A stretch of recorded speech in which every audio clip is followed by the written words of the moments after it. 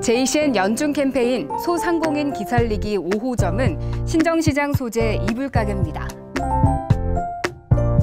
신정시장에서 소문난 인기 이불집이라고 하는 이곳. 각양각색의 이불들이 즐비해 있었습니다. 여름 혼이불부터 모카솜 이불, 앙증맞은 베개까지 사장님께서 친절하게 설명도 해주셨습니다. 활기찬 분위기와는 달리 사장님께서는 상반기에는 참 힘들었다며 한숨을 짓기도 하셨는데요. 코로나 때문에 상반기에 이불 장사 50년 동안 하는 중에 제일 힘이 들었습니다. 코로나 인해 이불 공장들이 다 문을 닫아가지고 고객님들 찾는 이불이 생산이 잘 안 돼가 울산에 또 특히 학진자 동선에 신정시장이 있어서 신정시장 오시기를 히- 싫어하는 분들이 많았죠. 며칠 동안 사람이 한 사람도 없었어요. 없는 날이 많이 있었습니다.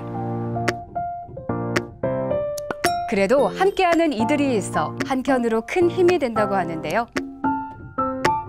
코로나 때문에 방문 손님들이 줄었지만 다행히 온라인으로도 판매를 하고 있어서 많은 분들이 찾아주셔서 고맙고요. 또 우리는 우리 집에는 모카솜을 다 드리는데 단골 손님들이 여기저기 소개를 많이 해주셔서 매출에 많은 도움이 되었습니다.